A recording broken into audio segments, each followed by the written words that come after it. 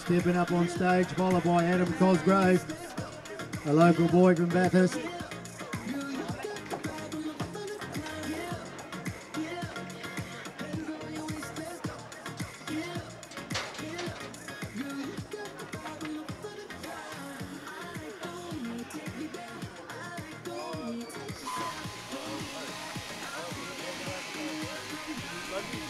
We've got green lights up there, so there- there's a good cheer for somebody in that last round. Three green lights.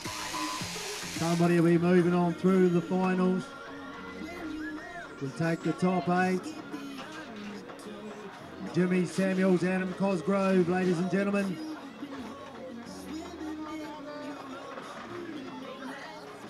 Getting that sheet set. Okay, cheers.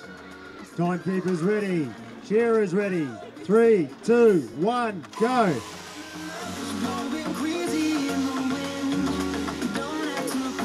Oh, Jimmy Hamilton to mess around on that first leg. He's moving around and he's coming smooth, smashing around, transition well. Jimmy Samuels is concentrated on this one.